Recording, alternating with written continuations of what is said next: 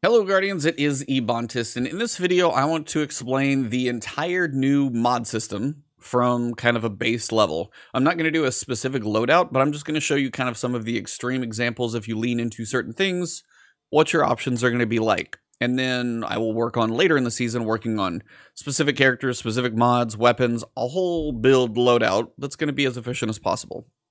Now, loadouts are actually a thing, and all loadout is is whatever weapons and armor that you have equipped to you at a certain point. If you want all of that saved, so you literally have to click one button and you'll have that stuff on your character, you can do that. So if I want this one, that my armor is all specifically general, but I also know I cleared out all my mods, and then I have these specific weapons, all you literally have to do is click it and it'll switch you to it. Now, this can pull weapons and armor that are in the vault and probably pull them from other characters because that character is not active. The thing it can't do is make space on your character or send things off of your character. So it's only going to pull things to your character. So keep in mind that if you are using the loadouts or swapping quite a bit, you might want to keep some of those things nearby.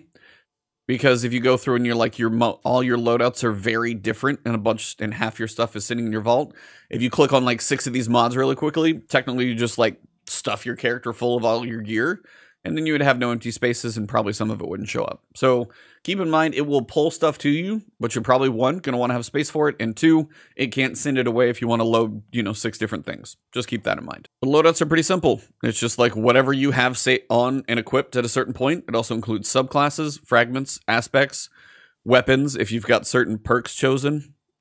Maybe I like I want stability versus appended mag. Well, it's like, do I really, or do I know I like this one first? And it put those two back. So it's quite literally everything except cosmetics. And again, when it comes to cosmetics, maybe that's something they'll work on later on, but stuff like ghosts and sparrows and ships, all of that stuff, you're going to have to manage it on your own. Right now, it's just the functional gear stuff. If you're sad about the cosmetics, I get it, but I bet you that wasn't their priority. They wanted the weapon and armor functionality long before they cared about what you look like. Even though Destiny is the end game, I hear. So, that's loadouts, pretty straightforward. Mods. Mods are, this whole loadout system is great. Now, there are a few things that I know some people feel are lacking. You take the mod like Powerful Friends or Radiant Light that used to be beneficial, especially for the stats that they would give. They no longer give those, but I will tell you, the overall benefits that we got with the changes to this entire mod system, I personally think, and as a Titan, it's probably easier for me to say this, but I think those outweigh what we lost. And hopefully over time they do a little balancing, tweaking, maybe introduce some more mods that are cool. That stuff hopefully comes later. But for now, we did get a lot of good changes. The first one is your artifact. These are no longer just mods that you have to slot in. If I want Overload Bow and I want Unstoppable Scout, what I used to have to do is unlock the mods here. Then I would have to go into my armor and actually choose Overload Bow and Unstoppable Scout. And it would take up two of my mod slots. Kind of annoying if there was like a cool class item like mod that we had and it took like seven energy well if i if i slotted that thing in here and then i had stats on there then my class item would basically be useless for the entire season.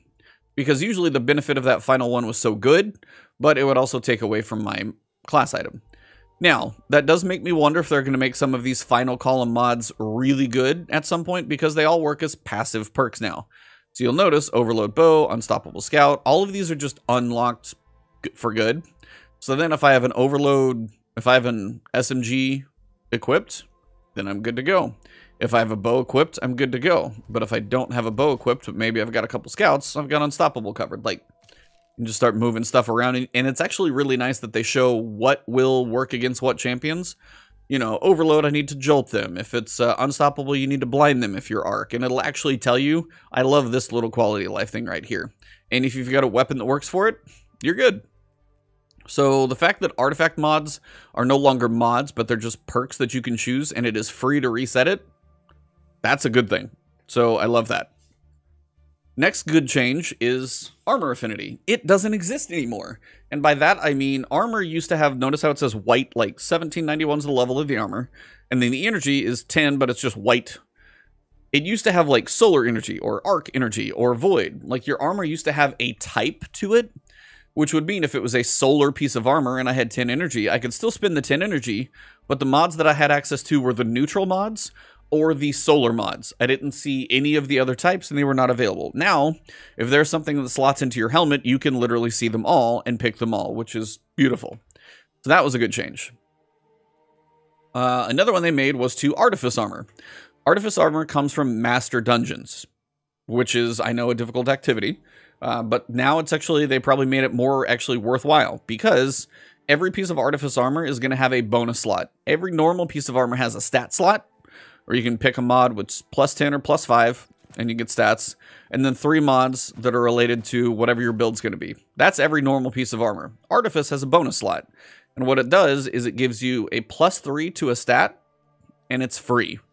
So if, for example, like my strength is at 39, but for free, I can bump that up to the next tier because I'm close. Or I could do resilience and get myself up to 81. Like the plus three is nice, but if you picture the fact that if I had artifice armor on every slot, that would be 15 stats or 15 points into whatever stats I want, and it would be free. That's pretty nice, I'll be honest. So artifice armor in the long run is going to be worth the grind. And they also said artifice armor that drops in Master Dungeons should have higher stat totals that drop. Now, granted, you never quite know where the stats are going to fall, but at least the totals should be higher since Lightfall's release. I haven't tested that yet. Obviously, I haven't run a Master Dungeon, but that means if you do put the time into farm Master Armor, hopefully it's worth your while. So that's a good thing as well. So Artifice Armor, a good thing. No Armor Affinity, a good thing. You've got artifact perks that are just now passive benefits and they don't take up your mod slots. Also a good thing. So we're off to a pretty good start, I would say. Now, a lot of the stuff, if you've been playing for a while or you played previously, some of it's going to look familiar. You still have on your boots scavenger mods. They changed a little bit how most of these mods work with regards to weapons, and they just assign them damage types instead. And the reason for this is I would mostly say it's probably in combination with match game being removed uh, it is normally not going to be something you're seeing in high difficulty activities. So now if it's like match game and you're like, all right, this activity has arc shields and void shields. Well, that means I need to make sure I have an arc weapon and a void weapon. Now, if you see a shield and you don't match the damage type, you're just going to do 50% damage instead of 100%. So it's going to take you a little longer, but it's not going to be like you're doing 5% damage and it's going to take you forever to break it. Now, if you want to go, I want to run a pure solar loadout, cool. Now, if I put Solar Scavenger on, and I've got a Solar Fusion Rifle, and I've got a Solar Rocket Launcher, my Scavenger mod works for both of those. It's kind of great. If I have something in the Kinetic slot, you've also got Kinetic Scavenger. That's for things like Witherhoard and, you know, Arbalest and Izanagi's Burden and all of those things. So it's all based on a damage type, so you probably have a little give and take where some could be better, some could be worse. But in general, I would say a lot of the times, especially for your heavy weapon and matching it up with your energy weapon, going to be nice to have the benefit there. Um, so that's where a lot of these have changed. Same thing, you got like arc reserves or unflinching arc aim. If there's one thing that's that you're looking for a benefit on, you're not going to be looking by like scout rifle, sniper rifle, pulse rifle, hand cannon. It's based on damage type. So keep that in mind. Most things are going to be a little bit different, but now you've got your stasis and your strand options and all of these things are in here. Harmonic, you'll see harmonic in quite a few different places. All of that means is it basically it matches your subclass, and it pretty much says it right there. Reduces flinching from incoming fire while aiming a solar weapon. Now the reason it's solar, I have my solar subclass on. If I go to void, and I go back to my chest armor, if I do unflinching harmonic, now it's going to say void weapon. That's the difference. So harmonic is usually just going to be whatever matches. And then up here, harmonic resistance. If I'm running a void subclass and I want to have void damage hurt less, well, it's actually cheaper for that subclass. So depending on what you want to try and have benefit for, leaning into that subclass can have some benefits there as well. So they actually really did a pretty good job kind of having you the, giving you the ability to synergize. Like you're like, I want to go full on solar. You can do that and you can be successful, which is quite nice. Now, the new thing that I would say kind of or updated previously would be like charged with light. That was the thing that we could get. That would be picking up an orb, getting a benefit from it. We also had wells, which were like, hey, you got a kill with solar elemental wells. You made those for whatever reason, and you would get benefits from those. They consolidated all that into one system, and it is called Armor Charge. And basically, collecting an orb of power causes you to gain one temporary armor charge. Any mod that affects armor charge allows you to pick up an orb and get armor charge. So whether it's this one, this like this one, if there's something that triggers the armor charge system, if you have that mod equipped, you now get the benefits of using armor charge. You don't actually have to have like the mod that says if you pick up an orb of power, you are now going to gain armor charge. That is just on by default if you equip a mod that's going to be using that system.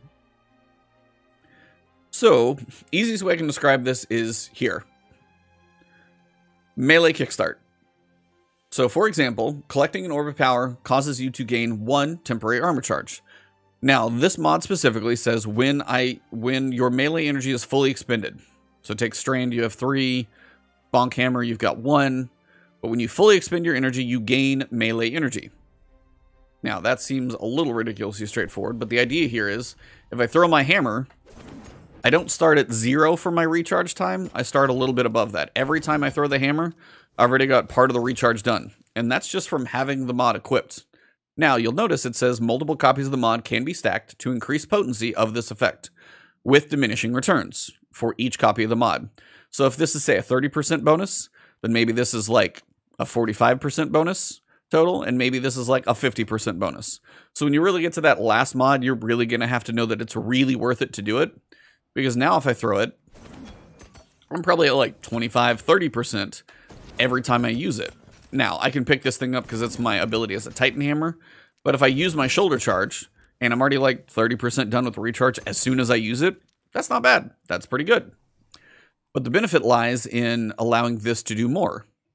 So multiple copies of the mod increase it, but also, additionally, your armor charge is consumed, and you gain additional melee energy for each stack. So instead of getting that much melee energy, if I run out here and go kill all of these enemies, I'm able to get the benefit of more recharge quicker. So if I kill these two... Ah. But there's one crucial piece that I forgot. And that is actually being able to make orbs of power. And typically, you're going to want to do that for yourself. So when you want to make orbs of power, most of that is going to come from the helm slot. Most of it, not all of it. And it's going to say rapid solar weapon final blows create an orb of power. Now you'll notice equipping multiple copies of this mod increase the potency of the generation orb. And that what that means typically is that generation of the orb really isn't going to change melee kickstart because one orb still gives you one armor charge. What the orb is going to do is allow you to have more super energy because picking up orbs recharges your super. So if I have solar siphon on, I'm going to get the small mods, but if I put three of them on, I'm going to get the big, big mods, and if I'm getting a bunch of solar weapon kills, I will be getting my solar super back faster because those big mods will help quite a bit. But for now, we'll just leave it at one. So if I get solar weapon multi-kills, and I go out here and hopefully there's still some enemies that I can kill, if and you usually want to kill them in pairs if you're really leaning into this. Okay, I gotta have more enemies around here somewhere, right? Come on.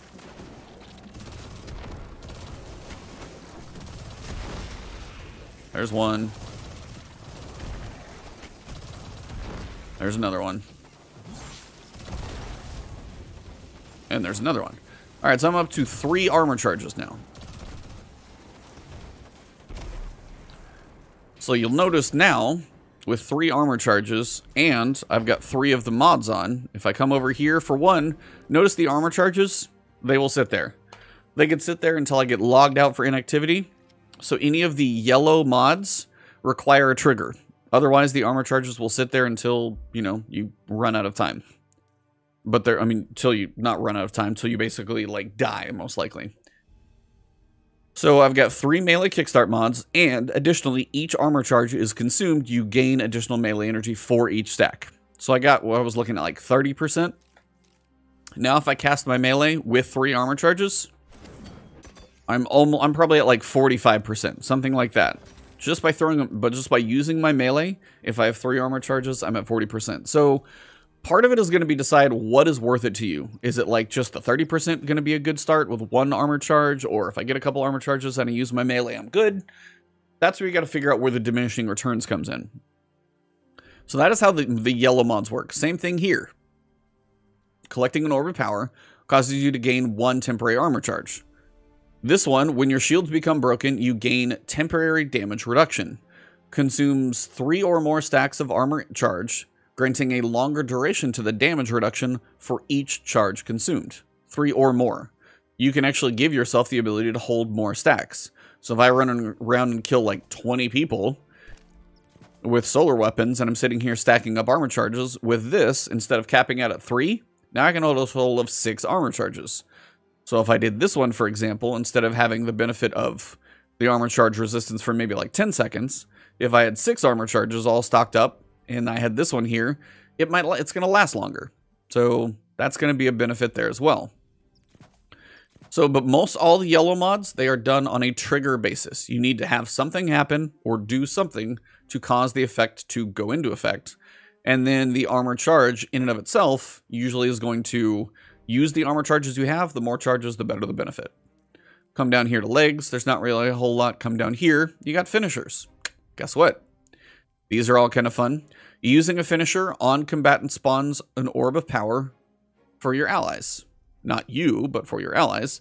And it consumes three stacks of armor charge. But guess what? You can have that one equipped. I can have a finisher final blow, grant me one temporary armor charge if I don't have any. I've made one for my allies. But you can only do a similar type of mod. So these, you'll notice, for one, I can't equip multiple, and two, I can't stack them all. So all different situations.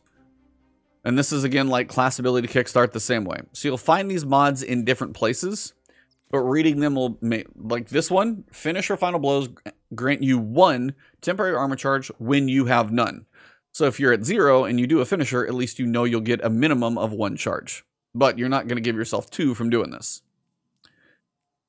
now the other type of mods are going to be blue and these are going to be based on a timer so when i gain a bonus to uh, strength while i have an armor charge but it says your armor charge now decays over time so what's going to happen is if I have one mod equipped and I pick up an orb for 10 seconds, I'm going to have the effect of having, say, 30 more strength. What that's going to do is, let me see if I can make myself at like 40 strength, so it's a little more round number. It would take me from tier 4, while that 10 seconds is effect, it would take me up to tier 7. So I would get more recharge from it. If I lean into this further, if this is plus 30 to the stat, this is plus 50 to the stat, and then this would be plus 60. Now, granted, I leaned really heavy, heavily into that, but depending on what I do with my mods, I can have that benefit to my stat have more effect. So now it's on a time delay, or it's a time countdown. So if I pick up three orbs of power, I have 30 seconds. Well, now I've got 40 seconds if I can find four orbs, or I've got 50 seconds, or I've got 60 seconds.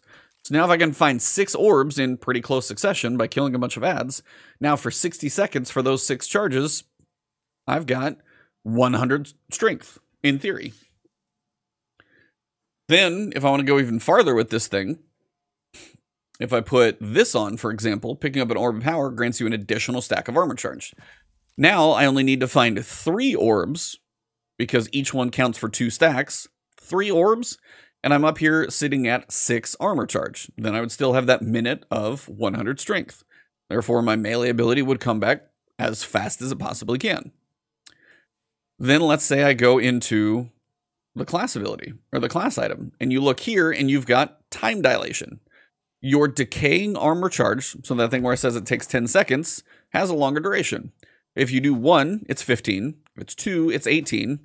And it's three, it's 20. Now it's like adds five seconds, adds three seconds, adds two seconds. You got to figure out the benefit. But all of these mods combined, if I find three orbs of power on the ground, which is not the hardest thing in the world to come by, I will have six armor charges. I've got room to store all six.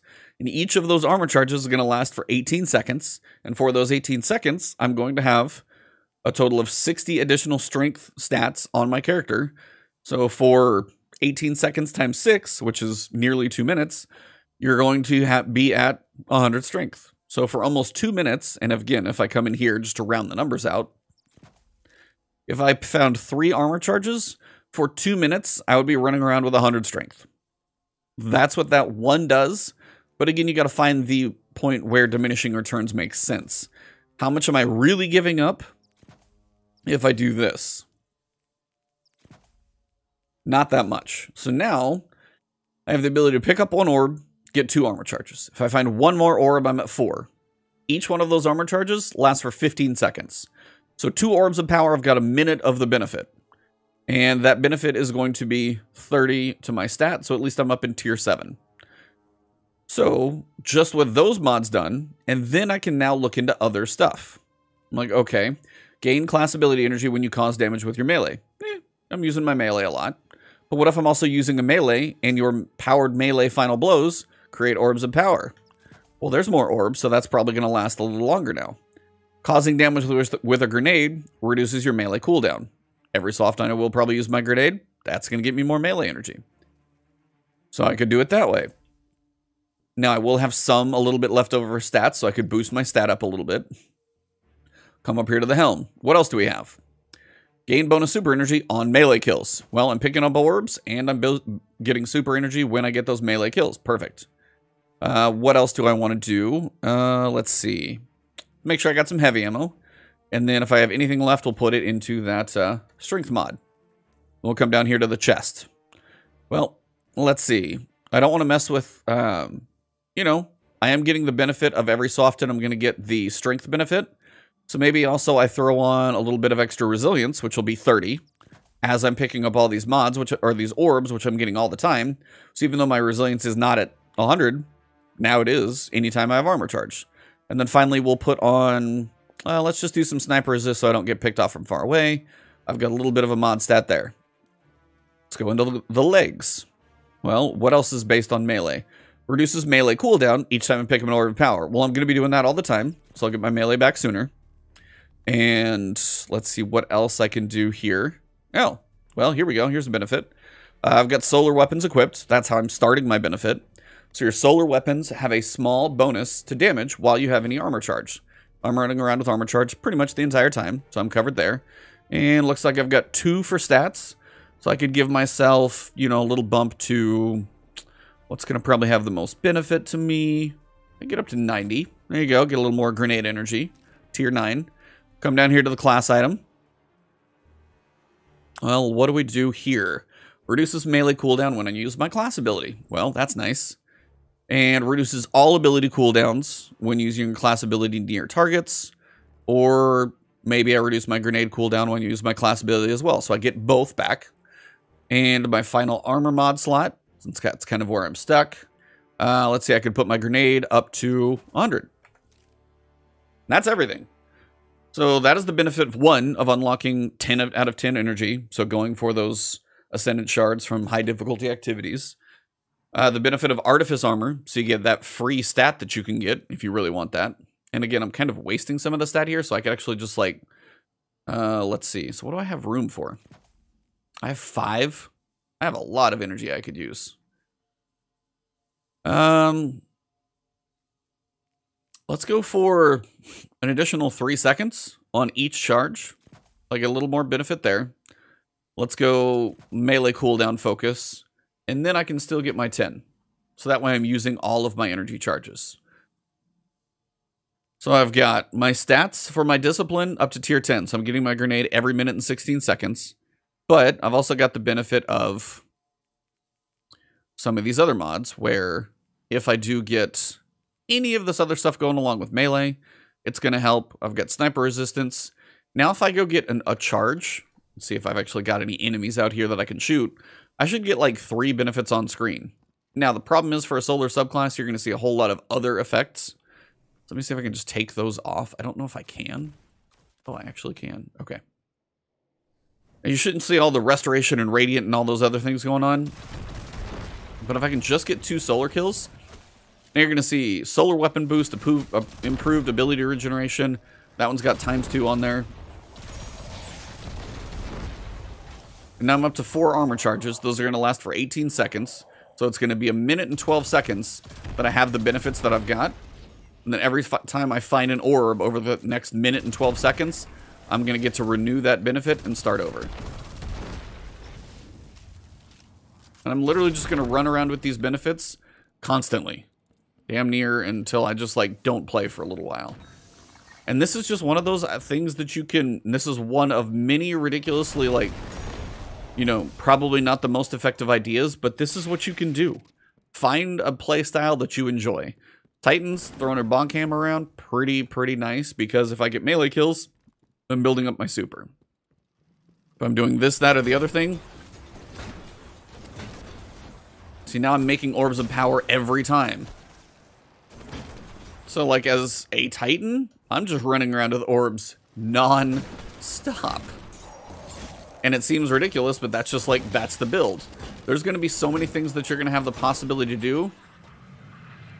And it's going to be kind of fun. And that's like, this is the best way I can show it to you is actually give you an example of something a bit ridiculous. But this is like just one of those ways you can set the whole system up.